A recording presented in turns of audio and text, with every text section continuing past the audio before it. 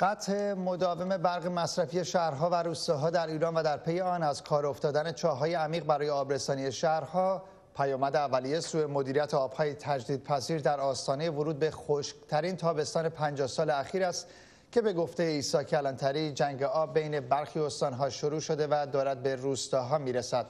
اما تلاشگران محیط زیست می‌گویند چالش آب که همواره عامل موثر همکاری و وحدت ساکنان فلات ایران بوده چرا باید عامل جنگ میان مردم شود؟ گزارشی از بهمن سقایی.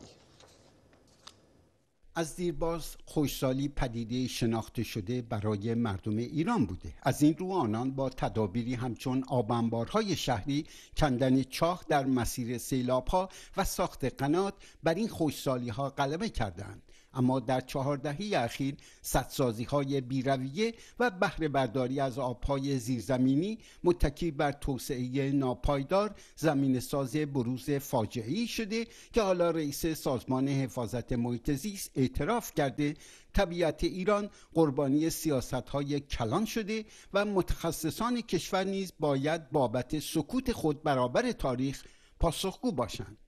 الان ما می‌بینیم که خیلی از اتفاقاتی که تو بحث سدسازی توی مملکت داره میفته و تبعاتش همین الان داره مشخص میشه 100 120 سال پیش در آمریکا هم اتفاق میافتاد.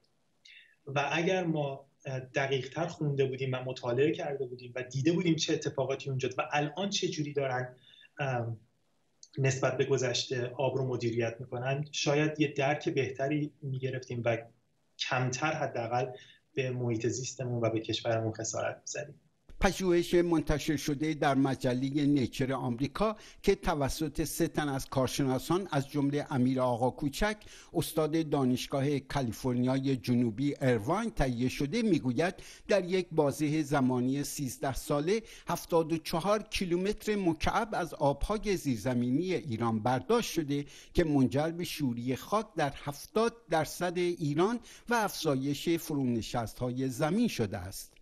آب زیرزمینی درست مثل حساب بانکی ما میمونه هر کسی که توی دوره حداقل کوتاهی هم شده بی پولی کشیده باشه متوجه مشکلات و مسائلش هست. آب زیرزمینی هم همونجوری باید نگاه بکنیم بهش.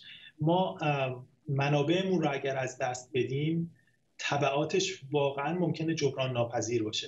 الان ما آب زیرزمینی رو بیشتر از اونی که طبیعت می‌تونه به ما برگردونه داریم استفاده می‌کنیم. این تقریبا همه جای ایران و البته بعضی جاهای دیگه دنیا به همین شکل هست و تبعاتش می‌تونه خیلی جدی باشه تدابیر ایالت کالیفرنیا همچون ایجاد بانک آب و بهینه کردن فناوری شبکه آبرسانی و آبیاری پیشنهادی کارشناسان و سازمانهای مردم نهاد این ایالت آیا در ایران کاربرد دارد؟ خیلی از این راهکارهایی که در کالیفرنیا یا استرالیا اجرا شده مثل بانک آب یا بازار آب متاسفانه به نظر من در حال حاضر در ایران قابل اجرا نیست. یکی از دلایلش اینه که ما در ایران سازمان های مردم نهاد قوی نداریم. اگر ما به تجربه کشورهای موفق نگاه کنیم اگر به مثلا همین بازارهای آب یا بانک های آب نگاه کنیم در جاهای مختلف دنیا می‌بینیم که مدیریت اینا اغلب غیر دولتی است. دولت نقش خیلی مهمی داره.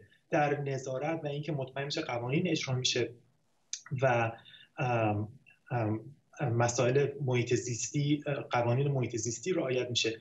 ولی اغلب اینها یا به طور جدی توسط سازمان های غیر دولتی و مردم نهاد یا مدیریت میشه یا نظارت خیلی جدی میشه. به گفته تلاشگران محیط زیست مقامات جمهوری اسلامی از کشیده شدن جنگ آب از استانها به روستاها سخن می‌گویند. حالا آنکه چالش آب همواره عاملی مؤثر در همکاری و همبستگی مردم فلات ایران بوده است. بهمن سقایی صدای آمریکا.